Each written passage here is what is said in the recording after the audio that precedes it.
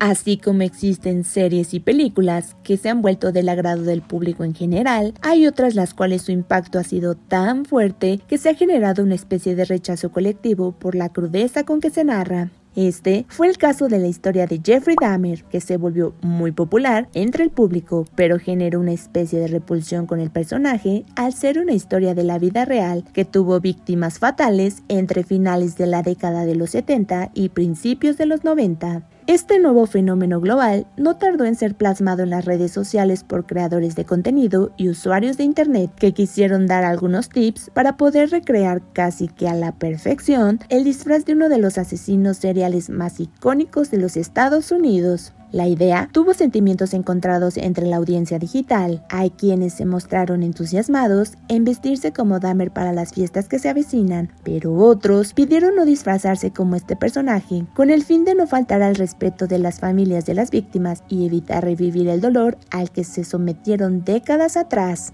Algunos argumentan que esta es una forma de minimizar y romantizar los crímenes de gran repercusión emocional para quienes los vivieron como para la sociedad en general.